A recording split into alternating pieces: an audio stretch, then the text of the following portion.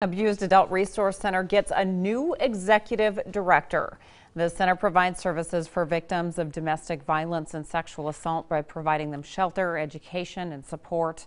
Michelle Erickson was appointed this month and hopes to move the agency forward by keeping up with technology and finding new services for, victims. She has worked at the center for 14 years in positions in direct services up to being a supervisor. I didn't really know this was going to be my career at the beginning. I have a criminal justice degree and I was more thinking I'd get into something like probation and parole. But then I started working here and working with Diane, our director, and the other advocates, and this really became my passion to just help victims. And last year they provided services to over 1,400 victims of domestic violence and sexual assault. Able to do a lot of good.